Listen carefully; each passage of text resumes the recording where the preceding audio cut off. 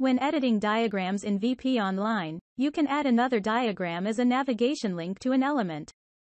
Select the element, then go to Format panel, Arrange, Edit link. Then press Browse button next to select diagram and page. After that select the target diagram and press OK. And then apply. Now the link will show below the element. Click on it will jump to the target diagram.